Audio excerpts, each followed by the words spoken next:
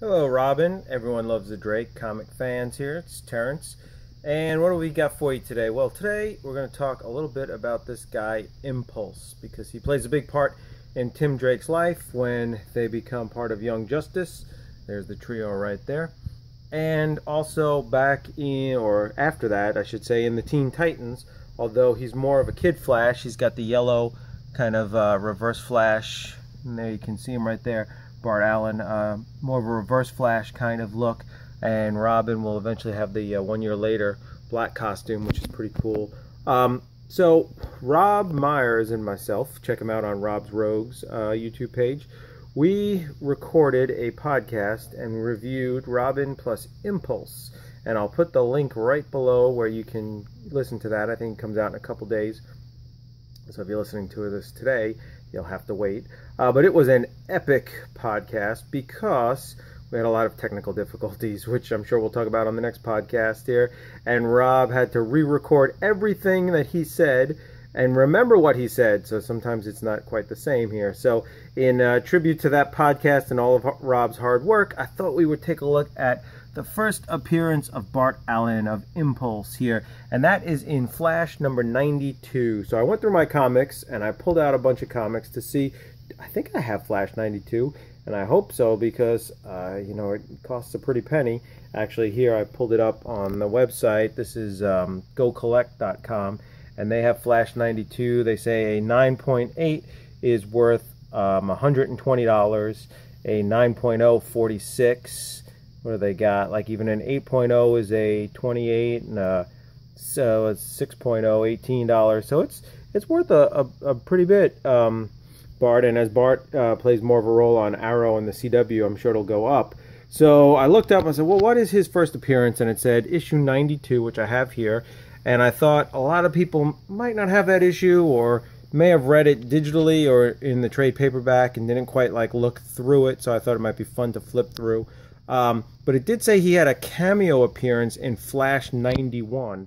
And it was kind of odd as I was flipping through my books. I had 89 and uh, 90 and uh, 87 and 88 and 94 and 95 and 97 and 96 and 99 and 98 and 101 and 100 but I did not have 93 so I went to the store and I picked up Oh, actually, no, I had 93. It was 91 I didn't have. Where did I put 91? Hold on, let me pause this for a second and find 91. There's 91. It was on the bottom there. I think I might have said that here. So I did not have 91, and I thought, uh-oh, if Bart has a cameo in that, I, I need to get that. So I ran over to the comic book store and got it for $5. Uh, wasn't too bad. I'm not sure if I overpaid or not, but I just paid five bucks. He's only on in it for like one or two panels at the very end, and he's all completely silhouetted. You can't see him at all. And when I looked up here on Go Collect how much 91 was going for, they said they don't even have enough sales to uh, no sale record to uh, even make a uh, value on it. So I think five bucks is probably what you expect to pay for a, a 22 year old comic. And in pretty decent shape.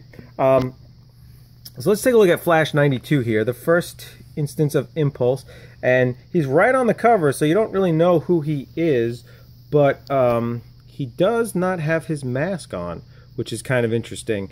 Um, eventually, that mask will be such a classic look for Impulse. Uh, and he doesn't really have to hide his identity because he comes from the future and no one knows who the heck this guy is.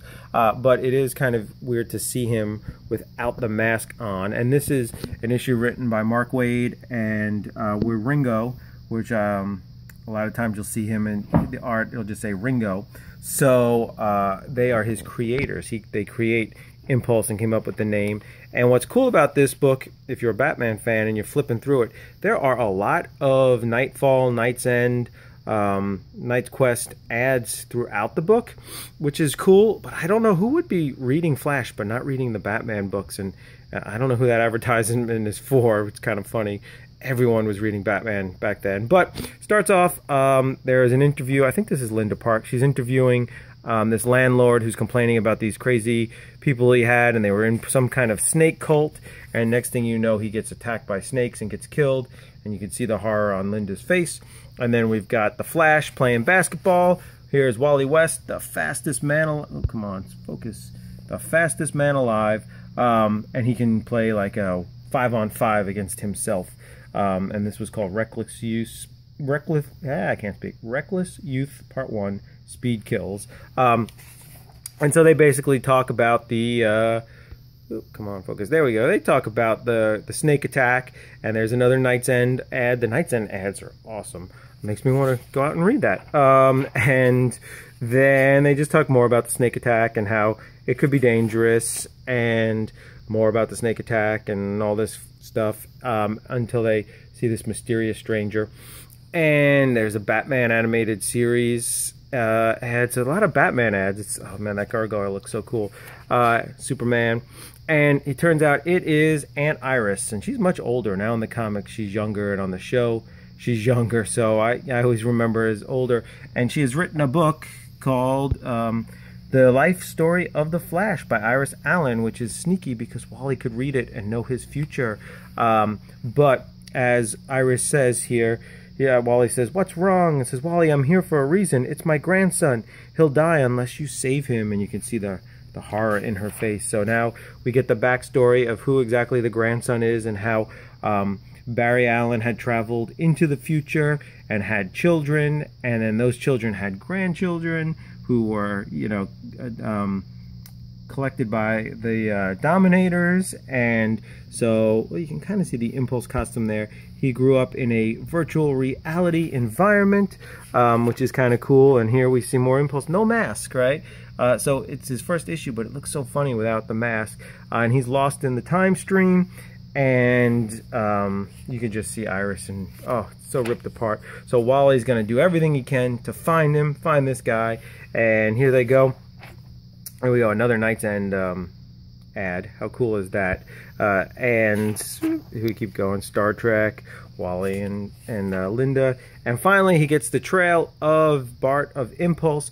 And when he takes a step towards Bart, Bart sees him as a threat, thinks he's going to kill him, and starts fighting him. Which is why on issue 93, look at that. It's like right from there. There, He's punching him. And Wally, of course, doesn't want to hurt his um, future, I guess what you would call him, future nephew, I think, or yeah, um, or maybe they're cousins. Maybe that's how it works. I don't know. Here's another Knight's End uh, ad with our boy Tim Drake and uh, Nightwing with the wings, uh, and then we get a little bit more about this like crazy snake cult, and at the end we learn it is Cobra, Cobra Strikes, and that's right where uh, 93 takes off with uh, some good old male bonding going on there. So, in honor of Rob and I's podcast about Impulse, uh, so check out that podcast and um, check out more stuff with Impulse. And eventually, I have just not finished reading World Without Grownups. I didn't really like it very much, so I'm, I'm struggling to get through that. So anyway, let me know in the comments what you want. Do you want me to do some more Impulse books? Do you want me to start on the Teen Titans? Do you want me to start on JLA? I still got something a little bit special over here that I'm hiding uh, for when we hit 100 subscribers. So let me know, and uh, I got a few ideas for the channel that I'll be working on, and I will see you guys next time. See ya.